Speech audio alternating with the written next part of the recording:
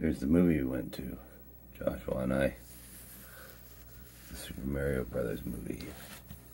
Awesome.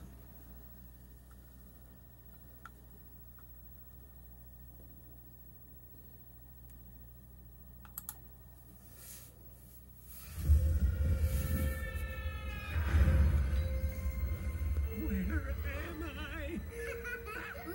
fresh meat for the grinder. Pay him no heed. He is cute, but he is.